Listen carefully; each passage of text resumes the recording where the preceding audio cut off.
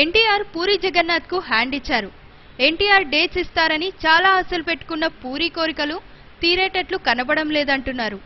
ఎన్టీఆర్ రీసెంట్గా తాను డేట్స్ కేటాయించలేనని పూరితో చెప్పడంతో దగ్గుపాటి రానా వద్దకు వెళ్ళాడని సమాచారం.